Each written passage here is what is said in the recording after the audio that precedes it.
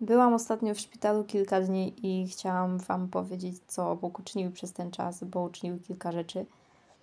Mm, przede wszystkim pokazał znowu, że troszczy się o wszystko i to, że, że wysłuchuje modlitw i dokonuje cudów. Mm, pojechałam do szpitala, bo skierował mnie lekarz na dalszą diagnostykę i żeby jakieś leczenie zostało wdrożone, bo wyszły mi złe wyniki badań. No i dostałam skierowanie do szpitala do innego miasta. Pojechałam z tym skierowaniem. Za tydzień dostałam telefon, że mam przyjechać. No i tutaj już pierwszy problem pojawił się taki, że no z racji tego, że jestem niemobilna, musiałam sobie jakiś transport ogarnąć. No ale dzięki Bogu moja mama tam ogarnęła y, chrzestnego i on akurat y, dzięki Bogu miał czas i mógł pojechać, więc zawiózł mnie do tego szpitala. No i jeszcze zanim pojechaliśmy, zaraz po tym telefonie, jak y, odebrałam, że, że muszę jechać do tego szpitala, to różne złe myśli od razu zaatakowały moją głowę, że mm, no, że co tam w tym szpitalu się będzie działo, że pewnie syf, że pewnie się czymś zarażę, albo nie wiadomo co jeszcze i że to żarcie takie złe, że mi jeszcze zaszkodzi dodatkowo. No ale dobra, spakowałam się, pojechałam. I w sumie od początku jakoś miałam w tym wszystkim pokój. Wierzę, że od Boga, bo mimo tego, że spadła na mnie obecnie choroba, to wierzę, że Bóg mnie przez to wszystko przeprowadzi. Gdzieś od początku mam takie e, zapewnienie w środku. W każdym razie pojechaliśmy do tego szpitala e, i okazało się, że szpital jest naprawdę bardzo ładny. Jest, y, było czysto tam, personel też bardzo miły, także zupełnie niepotrzebne, zupełnie niepotrzebne były te obawy. A tu właśnie Bóg pokazał, że o wszystko się zatroszczy i naprawdę nie musimy się o nic martwić i On też nas źle nie poprowadzi w złe miejsca, tylko zawsze y, dokądkolwiek idziemy, dokądkolwiek się udajemy, to On już tam jest przed nami i On wszystko już ogarnął, także nie musimy się naprawdę zamartwiać, co będzie jutro, bo On jutro ma w swoich rękach.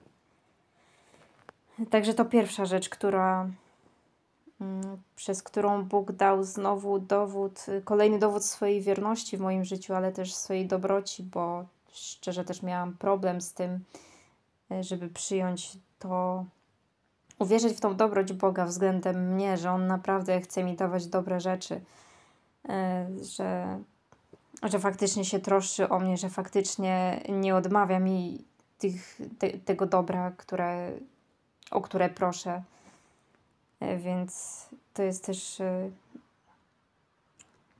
jakby taki też prze, przełomowy to był w sumie moment dla mnie, bo to mnie tak bardziej dotknęło i faktycznie otworzyło oczy na to, że, że Bóg o wszystko dba. No i w tym szpitalu, co się dalej działo? Mm, fajnie w ogóle, bo mogłam sobie też wybrać łóżko. Byłam w przez pierwsze dni sama w pokoju, także luksusowo, jak na szpital. Y, I co się da dalej działo? No wiadomo, zaczę zaczęto mi podawać leki. Mm, ja tych leków nie chciałam brać, bo no nie mam przekonania, nie miałam przekonania, nie chciałam się też uzależniać od tych leków y, później, czy żeby nie było jakichś problemów potem z odstawieniem a wiadomo, że no, można to na jakieś tam inne sposoby, powiedzmy, ogarnąć. Więc modliłam się do Boga przez kilka dni po prostu, żeby. Prosiłam, żeby nie musiała brać tych leków, żeby te wyniki się poprawiły, bo no jak oni będą robić mi te badania i zobaczą, że wyniki, że, że nie ma żadnej poprawy, no to mówię, będę musiała się jakoś z tego wytłumaczyć. Także miałam też takie obawy, trochę walkę ze sobą brać te leki, czy nie brać tych leków, no bo kurczę, co będzie, jeżeli oni zobaczą, że faktycznie ja nie biorę ich. Ale postanowi postanowiłam zaufać Bogu i modliłam się. Modliłam się mm, o to też o uzdrowienie, ale też właśnie, żeby, żeby te wyniki się poprawiły.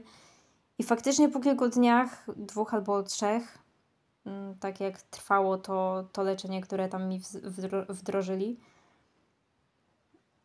przyszła ta pani doktor, rozmawiała z jakąś drugą, no i usłyszałam w tej rozmowie, że jest normalizacja w wynikach, czyli że pa parametry się poprawiły i Co mnie bardzo ucieszyło, bo wiedziałam, że to Bóg uczynił, wiedziałam, że, że On zadziałał, że wysłuchał moich modlitw, bo ja nie wzięłam żadnej tabletki, ani nawet pół tabletki nie wzięłam, a tutaj słyszę, że wyniki się poprawiają, także halleluja, chwała Bogu i Panu Jezusowi Chrystusowi za to, bo szczerze mówiąc też miałam trochę problem, zmagam się trochę z takim niedowiarstwem, niewiarą i to też był taki dla mnie przełomowy moment, że mm, że faktycznie Bóg wysłuchuje, że faktycznie Bóg czyni cuda, że faktycznie Bóg uzdrawia i On może to uczynić całkowicie. Amen.